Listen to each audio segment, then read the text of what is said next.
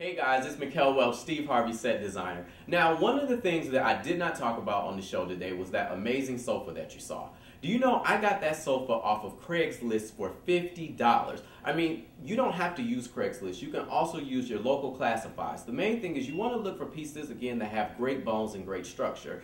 I reupholstered that piece for about $300, so that was my major splurge. But again, you can do the same thing. A lot of people even sell things or actually give them away on Craigslist under the free section. So take a look and you'll find some amazing things that you can recover. Remember, one man's trash is another man's treasure. And I have one more tip for you. Now, you know, I do a lot of the sets on the show, and so I'm always trying to find different ways to, you know, incorporate new colors and textures. So sometimes I have to think outside of the box. Now, Today I used white chairs in the living room design. Do you know that that fabric that I used actually came from a shower curtain? That's right. I mean, you can go to your local, you know, Bed Bath & Beyond or home store or home decor store and just look at the different fabrics. You can even use tablecloths.